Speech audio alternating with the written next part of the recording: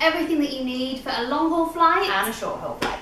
Everything you need, double, Double it. You need your milk, you need a few pouches, you obviously need your bibs, you need Calpol, their ears might hurt, Yeah. teething, you need Bonjela. You need to get them entertained with an iPad Mhm. and toys, teething toys, normal toys, flashing toys, any kind of toys that you can take with you. Double the amount of vests, bottoms, sleep sack, double the amount of nappies, muslins, blankets, changing mat, water wipes, nappy sack, dummies. We have this amazing bag by Storksak and we're going to show you how we pack everything in there.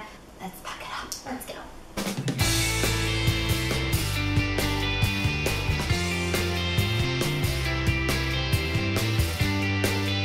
As you can see, everything we mentioned is stored away in lovely little compartments. Really easy to access.